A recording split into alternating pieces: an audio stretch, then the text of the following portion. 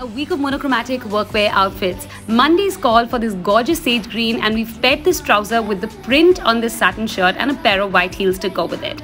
Moving on to client meetings, the ultimate corporate outfit blue and white. We've electrified it with an electric blue trouser and continued with our white pair of heels as well.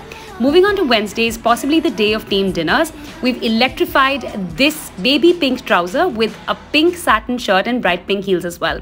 For my minimal girlies out there, white on white, swapping out the belt for this beautiful color from H&M. And finally, team dinners for Friday call for black.